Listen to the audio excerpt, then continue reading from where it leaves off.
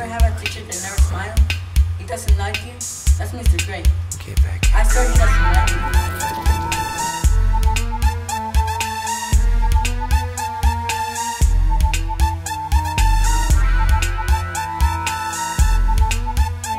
May I use a computer to do my homework? asked John Fenton, a computer literacy student in Santa Clara, California. I need to take it apart to see what makes it work. Wilbur, will you read the next paragraph? Page 22, paragraph 3. We're waiting, Wilbur. We're waiting, Wilbur. What's she cutting me for? I didn't raise my hand.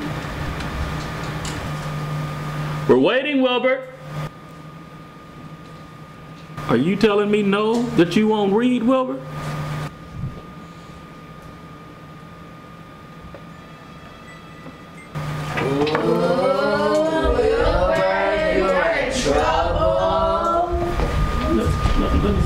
Mm, let me see. No, see, I don't know what you did at your old school, but this is not okay to tell me no.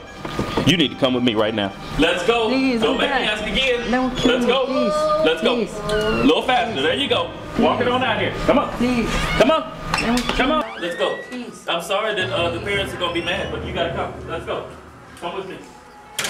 Come on. Come on. I can breathe. Let's go. I have an asthma attack. Please. Come on. You're breathing. You're breathing all right. You're breathing just fine. There you go. Keep breathing. Come on. Let's go. please. We'll call the ambulance when we get to the office. Let's go. Come on. Come on. Come on, you can rest right here. You can rest right there. You can rest right there. There you go. Take your time. Breathe in that chair. Mr. Gray, how may I help you? Uh, I brought this young man up here because he was sitting in my class and he told me that he wasn't going to read. Well, Mr. Shaw's on a conference call with the superintendent right now. I see. Well, uh, I'll just have him sit up here if that's all right because he's not coming back to my classroom. That's fine. Okay, works for me.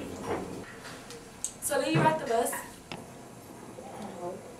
Um, Mr. Gray, if Mr. Shaw can't see him by the end of the day, we'll just dismiss him from here. It's no problem. That works for me.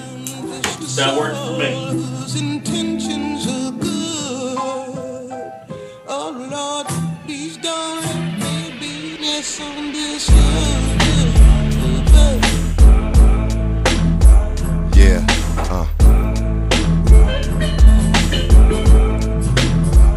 Misunderstood. We do this. Yes. Please talk to that young man over there. His name is um, He's been waiting a while to see Mr. Shaw. He's not even available right now. Okay, what's the problem? Um, his teacher said that he, he was just being very disrespectful and insubordinate, and that he just flat out told him no when he asked him nicely to read. Um, son, Cause we you want to come with me? Misunderstood.